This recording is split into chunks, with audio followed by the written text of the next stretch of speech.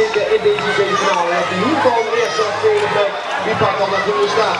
Meer van de drie Valerie Meijers was wel goed van start gegaan. Maar een keurige wordt daar. Bij 218 Liesbeth van Nieuwenhuizen van Aardvoort. Zij is doorgeschoven naar positie nummer 1.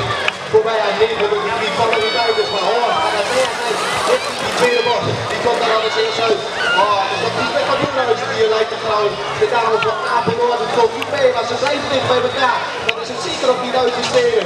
Wie gaat hier de eerste positie pakken? Oh, van Nieuwenhuizen rijdt daar voor de bord. En lijkt het er van. De Meijers komt daar nog aanzetten. Het is strijd naar de finish.